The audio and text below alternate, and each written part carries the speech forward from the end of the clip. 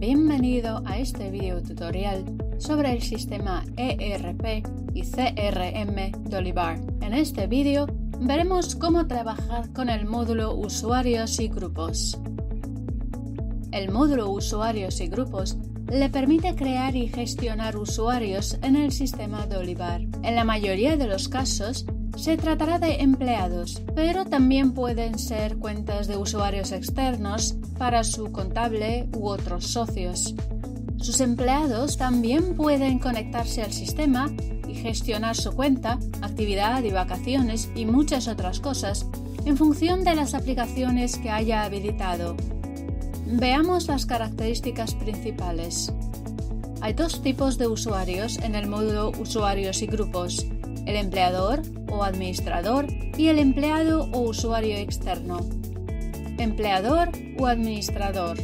Veamos primero el funcionamiento del administrador o del empleador. Inicie sesión con una cuenta que tenga acceso de administrador. Haga clic en el menú Usuarios y grupos para acceder al módulo de usuarios. Haga clic en Listado de usuarios para examinar la lista de empleados o usuarios existentes. La vista jerárquica da una visión general de la jerarquía de los empleados en la organización. Creación de un empleado o usuario. Haga clic en Nuevo usuario para añadir un nuevo empleado, un usuario interno de su organización, al sistema. Rellene los campos obligatorios.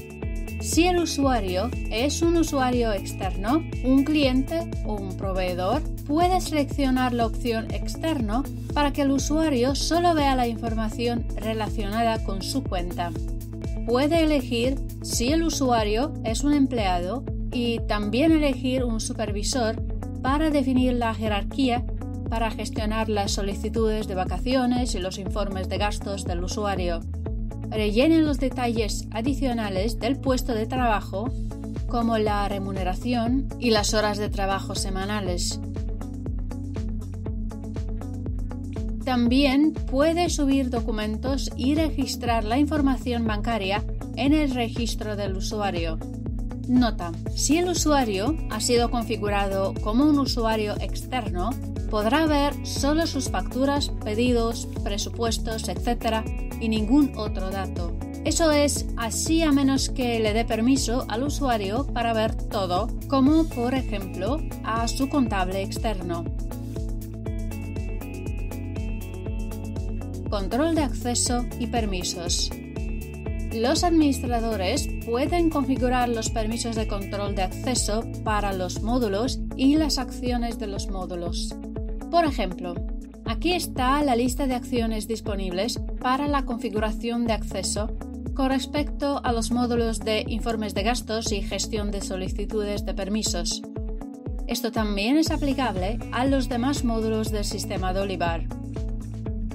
Puede utilizar los grupos para asignar permisos a los usuarios. En el menú Usuarios y Grupos, haga clic en Nuevo grupo.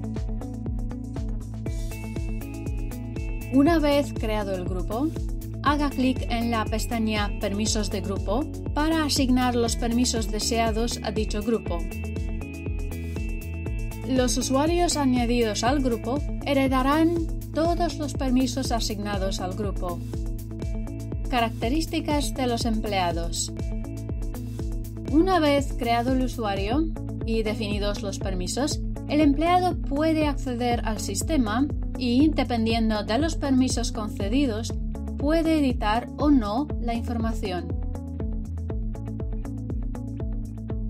Si la opción Gestión de días libres ha sido activada, puede hacer clic en el RRHH del menú para ver el estado de los mismos. El proceso completo de creación, aprobación y consulta de vacaciones se explicará en el vídeo sobre el módulo RRHH. Si el módulo Informes de gastos ha sido activado, los informes de gastos pueden crearse desde el respectivo menú. Los informes de gastos creados de esta manera pueden ser aprobados o rechazados por el supervisor correspondiente. El proceso completo de creación, aprobación y consulta de los informes de gastos se presentará en el vídeo sobre el módulo Informe de gastos. Si se ha habilitado el módulo Proyectos Oportunidades, un usuario también puede introducir sus hojas de tiempo desde el menú Tiempo dedicado. El proceso completo de creación de hojas de presencia se explicará en el vídeo sobre el módulo Proyectos u oportunidades. Gracias por ver este vídeo tutorial sobre el módulo Usuarios y grupos. Visite www.dolivar.org para obtener más información.